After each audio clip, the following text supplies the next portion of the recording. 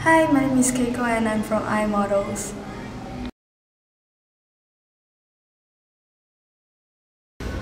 Hi, so um, how did you get to know about iModels? Mm, Actually, previously I was scouted quite a few times and sometimes by iModels also.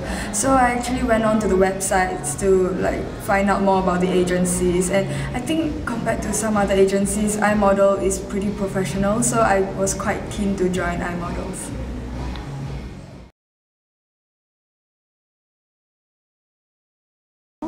So Keiko, what do you like about iModels? Okay, I like it that the agents are very friendly. Like compared to some other stories I've heard from my friends about other agencies where the agents are very mean. Agents here actually trust the models a lot. And I also like it that they actually provide a lot of training. Like for example, before some fashion show or something, they will actually teach the models how are you supposed to walk, when are you supposed to pose, and yeah.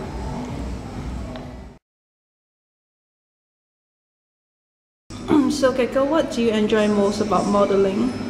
Okay, um, in modeling, you get to meet a lot of different people, work for a lot of different kind of jobs and events. So it's actually a very exciting experience for me to try out a lot of different stuff. So that's why I enjoy modeling a lot.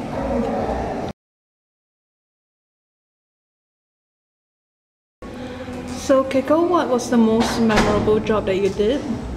Okay, um, so iModels actually has given me a lot of different um, opportunities like fashion show, TV commercial, events.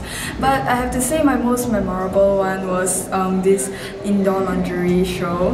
Okay, it's actually most memorable first of all because you know I didn't really expect myself to um, go for this job. But then this job has actually helped me to um, be more aware of my body, like when I walk, when I pose, how I look, and also be a lot more confident of myself, lah, you know. Thank you for watching.